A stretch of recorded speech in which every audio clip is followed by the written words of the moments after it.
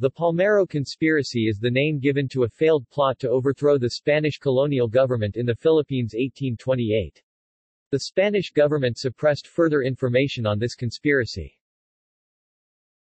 Background In 1823, an order, which was from Spain, declared that military officers commissioned in Spain should have precedence of all those appointed in the colonies. This was the reaction of Madrid to the series of wars against Spanish rule that was known as the Spanish-American Wars of Independence. Many Creole military officers were outranked by their peninsular counterparts. An insurgency was staged by a certain Creole captain named Andrés Novales but was suppressed when Fort Santiago did not yield to Novales and his 800 men.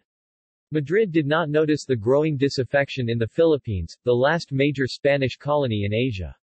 In 1828, matters became worse when public officials, mainly provincial governors, were also being replaced by peninsulars. Conspiracy in 1828, two Palmero brothers, scions of a prominent clan in the Philippines, along with the other partisans from the military and the civil service, planned to seize the government. Such was the prominence of the Palmeros, one of whose most famous descendants was Marcelo Azcarraga Palmero, that when the Spanish government discovered the plan, they thought it would be wise to conceal it from the public.